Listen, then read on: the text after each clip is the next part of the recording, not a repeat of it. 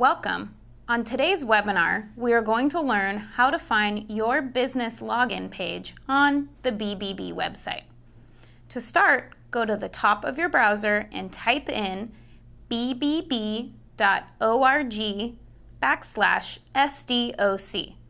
Click Return. Once on this page, find the Business Login tab in the upper right side of the page and click.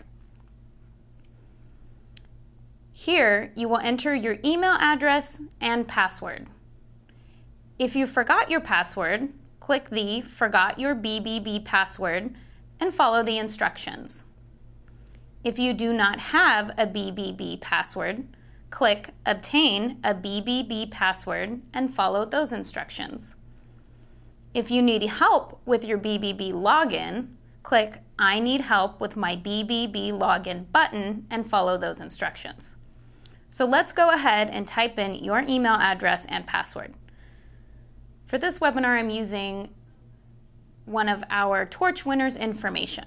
So here, type it in, password, click the login to my BBB business account button.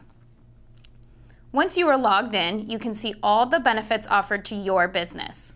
From here, you can download the BBB seal to use on your website, see customer reviews, upload photos and videos, and the list goes on.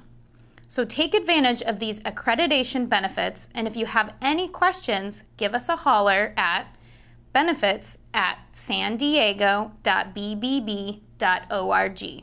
or call us at 858 637 6199.